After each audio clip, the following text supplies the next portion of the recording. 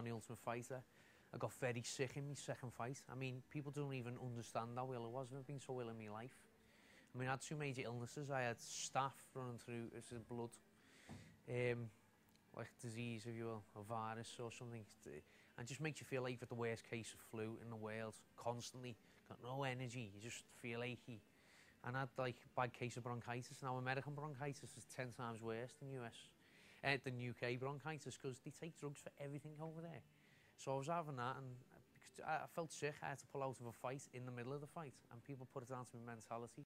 So I've, I've been the victim of a lot of saying I haven't got the mentality. But I used to, I mean, I started when there was no one out there and there was, uh, there was no one to train with. I used to train myself, and I was I went out and trained myself uh, for the first three fights and won a title. I ended up to a title and won a definitive title and there was no other belts around. There's a million titles out there now.